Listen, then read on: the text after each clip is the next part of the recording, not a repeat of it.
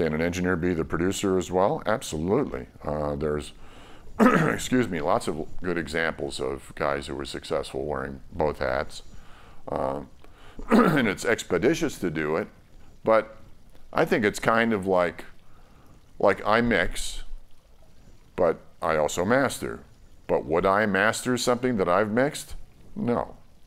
I'd much rather have somebody who has a whole other perspective and can shoot from the hip and just react to what I've done. Because if, if I heard it any differently, I would have done it differently. You know what I mean? I would have taken it to the place where I felt it sounded complete and done and so forth.